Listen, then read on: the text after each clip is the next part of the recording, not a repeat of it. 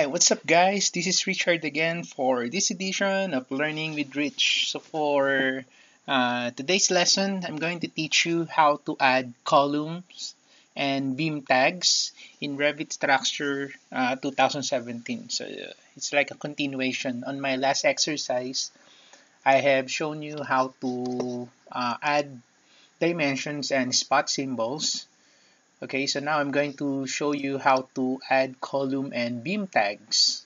Alright? Okay, so let's get started. So what I'm going to do first is, you see, I have four columns here. So what I'm going to do, I'm going to add uh, tags here. So to add tags, from my quick access toolbar, so this is what you call the quick access toolbar, there's this uh, tag by category tool that you can use here. Actually, the location of this, you can also find it here on your Annotate tab, tag by category. So it's the same. Okay, so I can select uh, tag by category here. I select this. Okay, and then from my options bar, here, if you click this drop down arrow, you can see you have two options for the placement of your tag, it can be horizontal and vertical. So I'm just going to select here horizontal. And you can also add here a leader line. So currently it's unchecked. So I'm going to check it. And let's say I'll just accept this uh, length of my leader line. Now to place the the tag to my column, so I'm just going to put it here. I'm going to move my cursor somewhere uh, the bottom of this column. So I'm gonna pick. As you can see there's the tag. Right. Okay so there's the column tag. So same with this one. So I'm gonna pick this and I'm going to pick this. Alright then after that I select here modify. Okay. Modify. And then I'm gonna I'm gonna select this. You can actually move that. Okay you can drag your column tag just like this one. Okay so let me just make it a bit uh, tidy. Alright okay. So what I'm going to do next I'm going to add here a text note.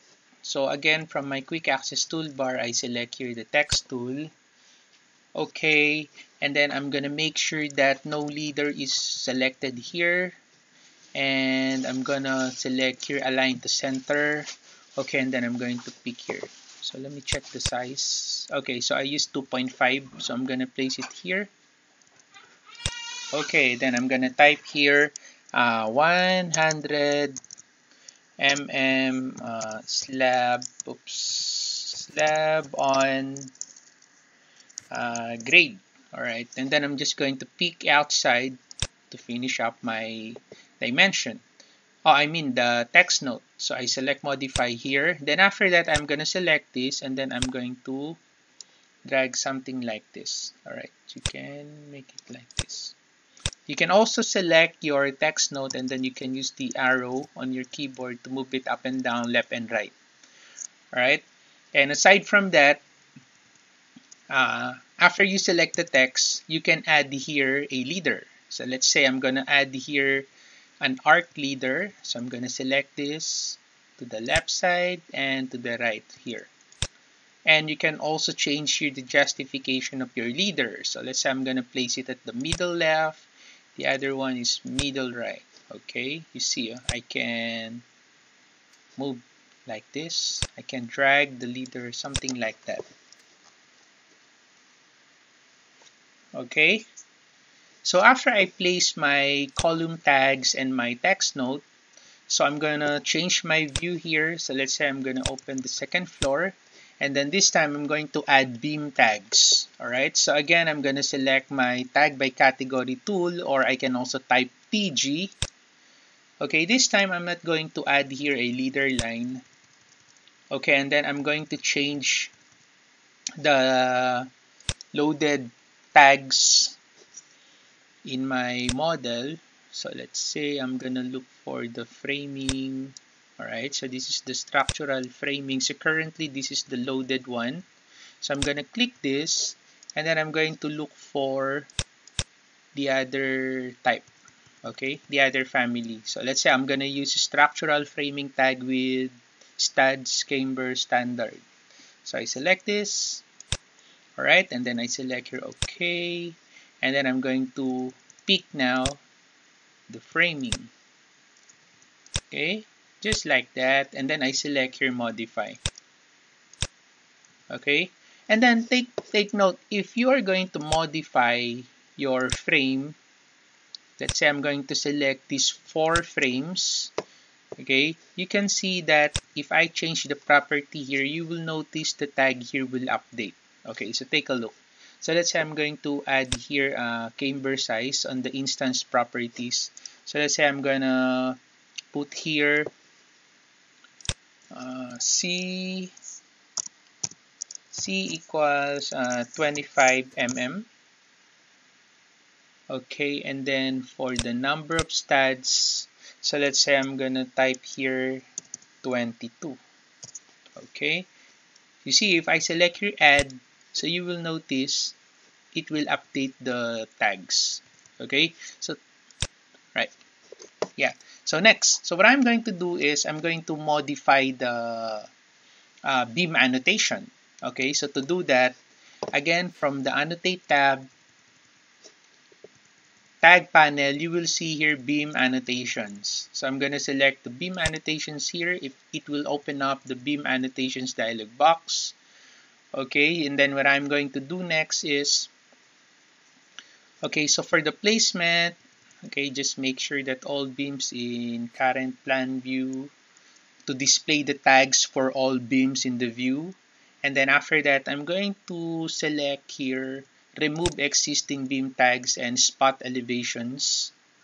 Okay I'm going to modify that now. So here you see there's a middle here on the level beams in plan okay so I'm going to modify this one so I'm going to select here uh, structural framing tag okay so for this one I'm going to I'm just going to select this okay so structural framing tag standard and then I select here OK right? So that's the setting. And then I'm going to change also the lower mid. Okay, so I'm going to select this. This time I want to place there the spot elevation. Okay, I'm going to ensure that plan is selected, uh, current level, and then for the display elevation, I'm going to select here top elevation. Alright, and then I select OK. There you go. So I'm going to select OK here to close the beam annotations dialog box. Click. There you go. You see? So all beams in the view now displays tags. So notice that the standard beam tags display above the beam and the elevations of the beams relative to the level are displayed below the beam. Right? Okay, so I'm going to type WT for tile window and ZA for zoom all to fit okay so that's the that's how you add column and beam tags to your structural model okay? So that's it for this edition of learning with rich. So hopefully you learned something from this video. If you have any comments suggestions or questions you can post it on the video this comment section below. And then I'll get back to you as soon as I can. Okay, you can also download the exercise file. I'm going to include this link to the video description of this uh, exercise video. Alright, and you can also subscribe to my channel. Just hit the subscribe button, and you can also go to my uh, to my uh, blog site. It's also included to the video description of this exercise right so once again this is uh, Richard from Learning with Rich have a good day